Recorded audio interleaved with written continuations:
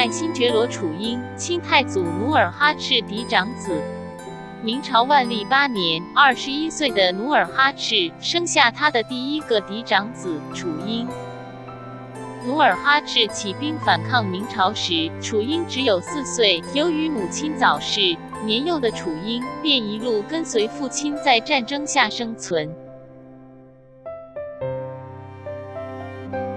努尔哈赤起兵之初，他的大伯祖德世库担心努尔哈赤起兵会招来明朝报复，便伙同族人预谋杀死努尔哈赤。努尔哈赤此时面对的不是军队在战场上的杀伐，而是自己族人的暗杀。每当有刺客来袭时，努尔哈赤就把长子楚英、次子代善和女儿藏在板柜底下。努尔哈赤骁勇善战，起兵后不出数年就拥有自己的土地和军队。而楚英自又跟随父亲在征战格杀的环境下长大，也造就了楚英的作战天赋。明朝万历二十六年，十八岁的楚英作战勇猛必胜，被努尔哈赤封为红巴图鲁，晋封贝勒。二十九岁时，楚英被立为继承人，执掌国政。但自小在战争中长大的楚英，也出现性格上的缺陷。他残暴嗜杀，心胸歹毒狭隘。再加上楚英战无不胜的战绩，使他狂妄到不把开国功臣和自己的兄弟放在眼里，而且屡屡欺压他们。楚英在得到执掌国政的权力之后，开始计划削夺四贝勒、五大臣的权力，甚至扬言即位后便将他们诛杀。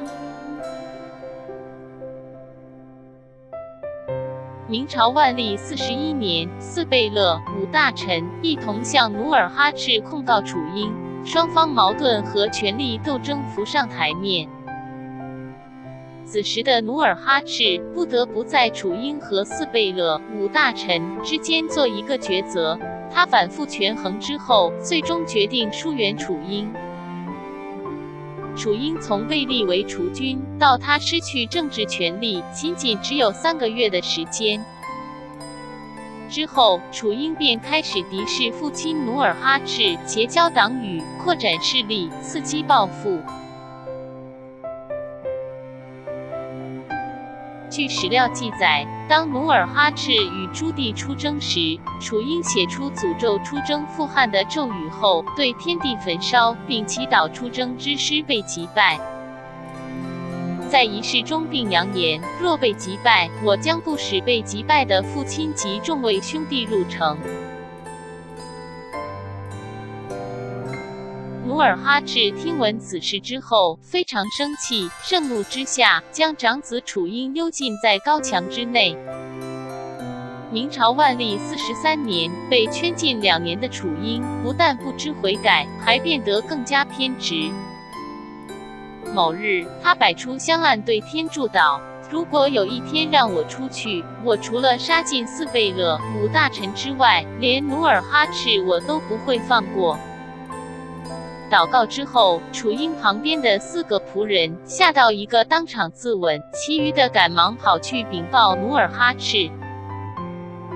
努尔哈赤非常气愤，思虑着若让楚英活着，必会败坏国家；倘若只怜惜楚英，就会危及其他贝勒和大臣。努尔哈赤苦恼良久，知道已无法挽回楚英的心态，只好以不思悔改之名下令处死楚英。楚英在执行死刑前，愤怒地立下诅咒：“我嫡长子不能继承皇位，我就诅咒你大清，以后所有的嫡长子都不能继承皇位。”而这个诅咒到底有多灵验呢？清朝总共有十二个皇帝，却有十一个皇帝不是嫡长子，其中清朝还有七位皇长子不得善终。小编会常常新增影片，如果大家喜欢，欢迎订阅分享。